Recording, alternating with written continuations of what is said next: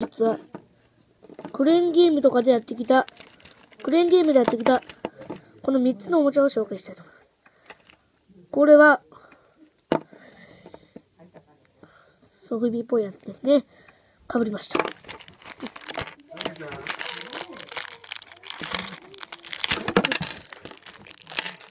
次これフィギュア。い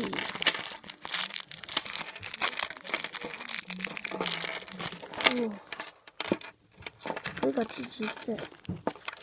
6シードでやったああ、もう。またそう。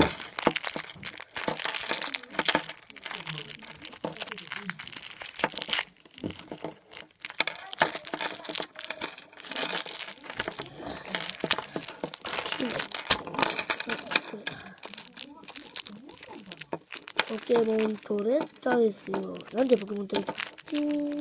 いや、最近レオンさんが、ポケモンとかレビューしないので、ポケモン取れたって言いました。オレンジが綺麗。